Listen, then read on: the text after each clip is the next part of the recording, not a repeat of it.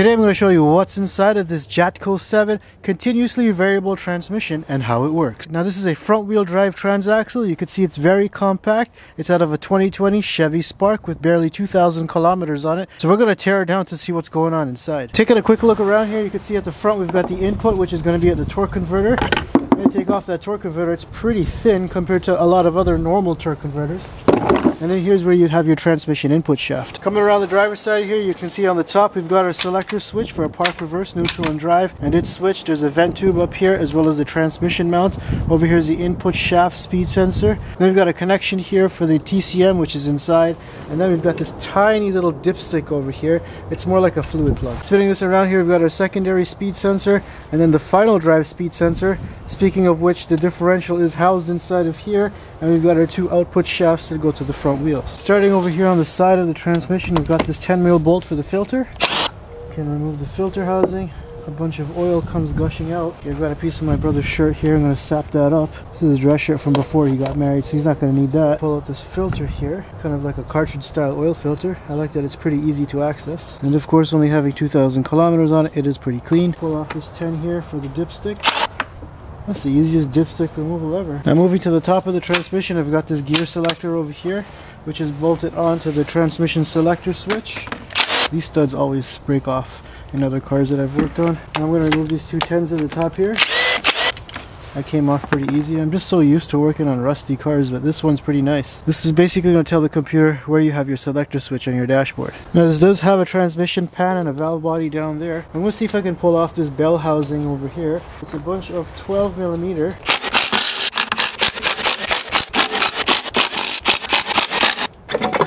Pop off that bell housing. Looks like we got the parking pawl mechanism in here. Taking a look inside this continuously variable transmission, you can see this here is the input. And of course the final drive over here would be your output. These are a counter shaft, which is going to send power out to the first variator. And then the second variator with the belt behind here.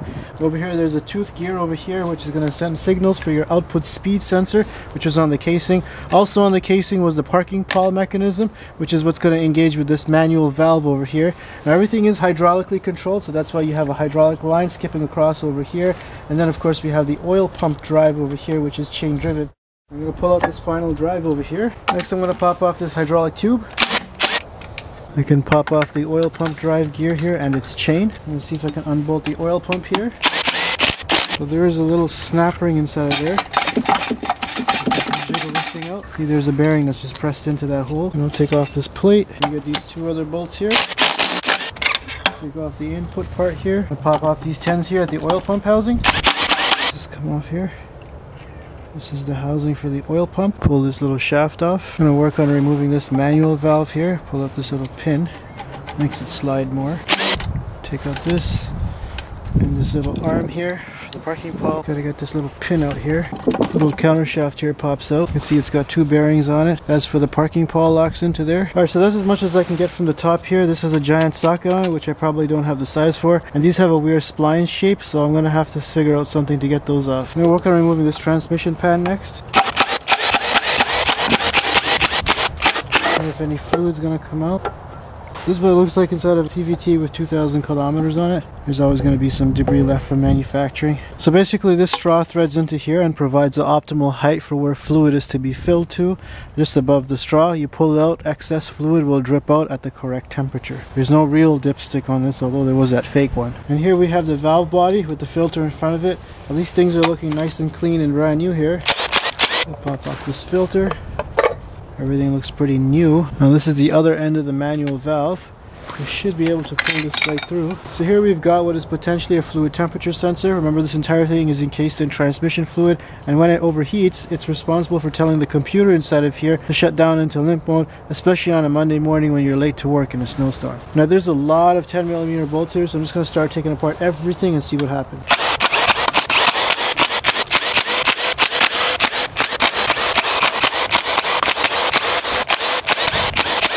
Oh, there's fluid coming out. Oh my goodness. I'm making a big mess here. Alright, so I ran inside and I got my brother's dress pants. I'm just gonna put that down here. He's already married, so he doesn't need dress pants for anything. He can afford to wear boxers. There's the valve body with all of its solenoids. Alright, so now I can access a bunch of hex bolts from the top here. And that allows me to pop off this piece here, which is the oil pump housing. You can see this is the oil pickup area that was fed from the valve body from the oil filter. This is the housing here, and this is your oil pressure regulator. This is going to be one dirty video, guys. Hopefully I don't get banned by the environmentalist. Alright, now that we're done with underneath and the top, we're going to flip this over on the other side so we can access this half of the transmission that has the actual guts that we're looking for, which is the CVT belt. So the transmission actually has a rear cover. We remove all these 12s.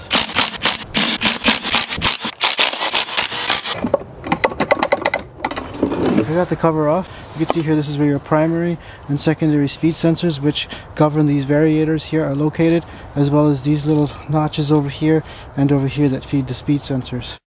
Welcome to the continuously variable transmission brought to you by the same environmentalists who want to save you fuel at the expense of throwing your car away after the warranty is done because these fail just so often. So over here we have our primary variator and here we have our secondary variator. This one comes from the input shaft which is ultimately powered by the engine and it takes its power through this belt over here and sends it through the second variator and then down to the output. Now the way this transmission works is by varying the diameter here of where your pulley is sitting on the input and the output side you could achieve a drive ratio. It's not really a gear ratio because you don't have gears kind of nestled together the way you do in an automatic transmission with planetary gear set. So by moving these variators together, you can get a larger diameter just like on this side. In this particular scenario, if your input is very small ratio and the output is very large, it's kind of like a first gear scenario where your RPMs are pretty high, but the output is pretty low. That gives you a nice torque multiplication. Now these nuts on these shafts here are very, very large and I don't have a socket to fit over these nuts to remove them so I'm going to have to use a different tool. Just going to use my snap ring removal tool to take off these nuts. So if you just beat it, it rotated the shaft so I decided to just cut it off. There, I busted a nut. Let me chip this one off as well. Here we go.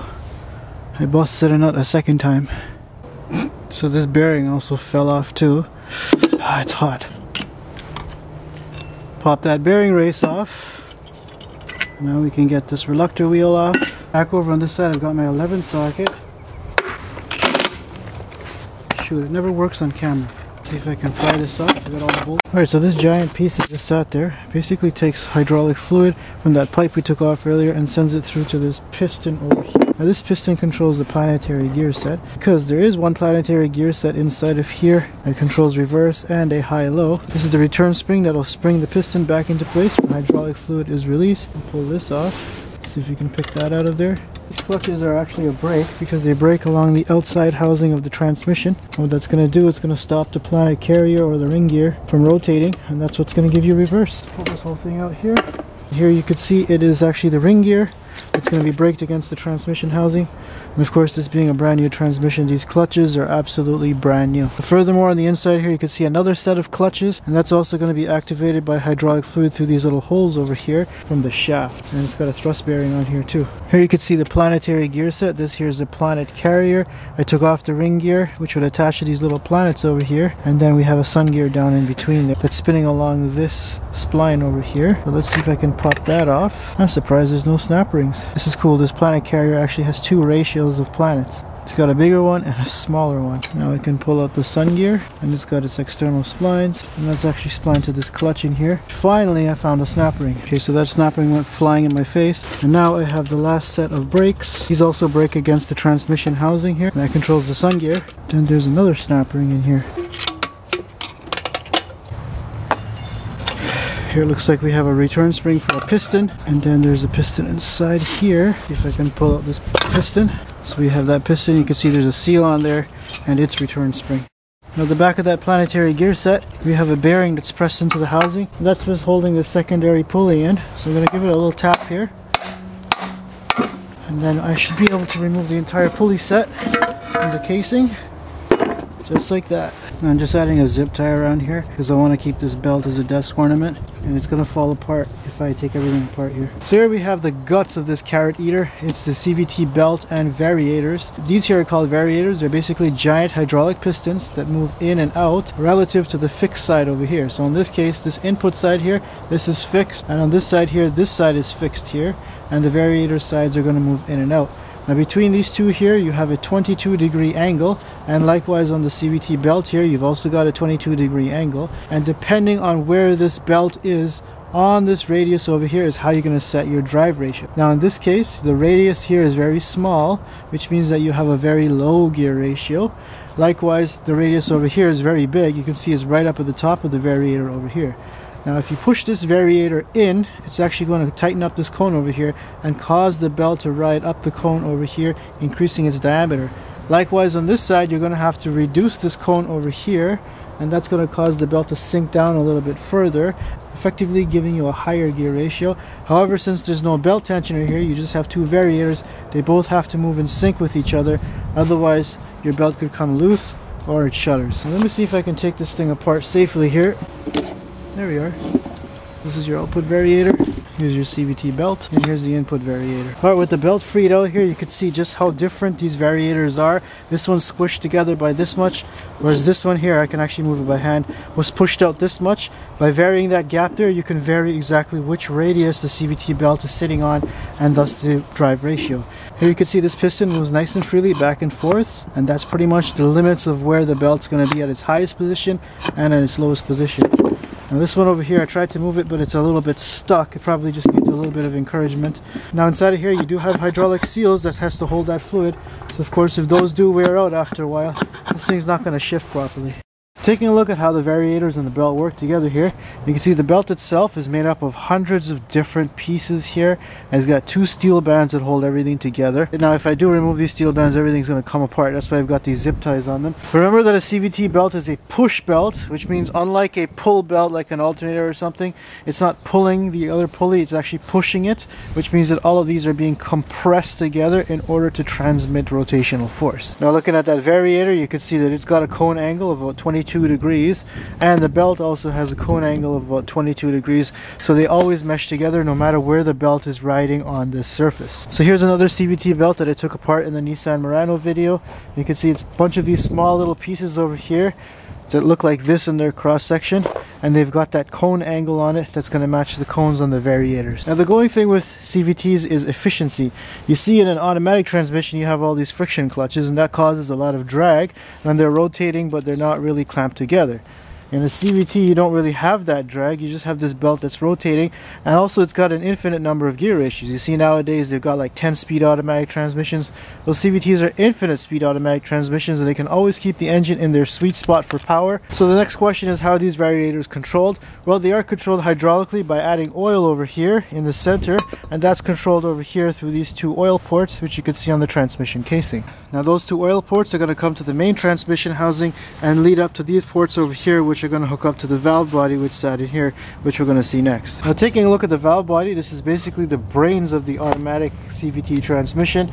You can see that there's a bunch of little valves over here and holes and ports where fluid is going to travel through and most importantly these solenoids are going to control the reverse brake clutch for your 1-2 shift and your reverse on that planetary gear set, your torque converter lockup and of course how much fluid goes into and out of the variators to vary the gear ratio. There's also a couple of temperature sensors on here. Of course CVTs are notorious for overheating and that's what tends to put them in fail-safe mode. Just going to carefully disconnect some of these solenoids here, making sure not to damage anything. Alright, I think I've got some of it apart here.